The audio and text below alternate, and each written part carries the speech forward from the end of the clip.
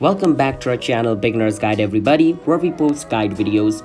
And in today's video I'm going to be showing you guys how you guys can log in into your FNB mobile banking account alright so first step you need to download FNB Bank's app. So you can just go to your app store or play store and write FNB Bank app and it's going to show you its logo is going to look like this a tree icon over here.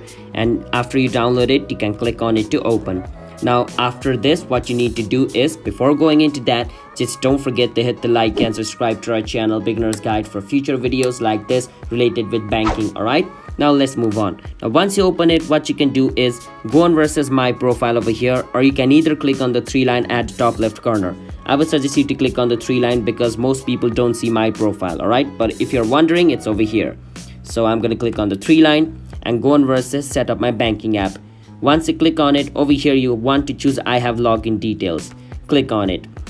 Once you click on it, it's going to ask you to enter your username. So enter your username. Once you enter your username, at the bottom right corner of your screen, you can see continue. Click on it. And on the next step, it's going to ask you to enter the password of your account. And after you enter the password of your account, basically if the password is correct, then you should be able to log in into your FNB mobile banking account. And if you forgot your username, you can always click on forgot username to recover it. If you forgot your password after this step when it's asking for a right below that there's gonna be a forgot password button. You can click on it to recover your password as well, alright?